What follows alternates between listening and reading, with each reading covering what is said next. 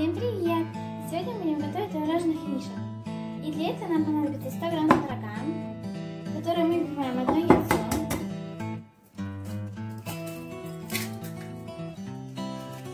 всыпаем 80 грамм сахара, 50 грамм растопленного сливочного масла,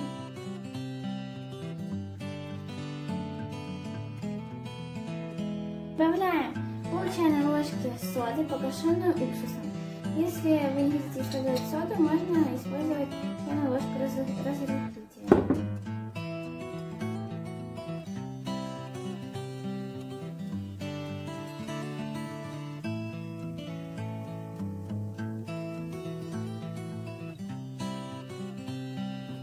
Теперь эту всю массу нам надо купить погружным блендером. После того, как мы перебили блендером, у нас получилась вот такая вот масса. В эту массу мы всыпаем 100 грамм пшеничной муки. Два этапа и перемешиваем. Мы вмешали муку и у нас получилась вот такая вот консистенция. Теперь эту массу нам надо переложить в кондитерский мешок. Теперь у меня есть такие вот силиконовые формы мишки.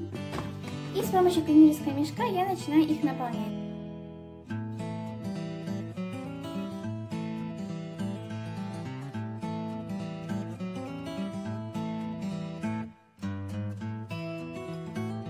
Мишек уже застроилась в духовке. Выпекала я их 15 минут при температуре 180 градусов.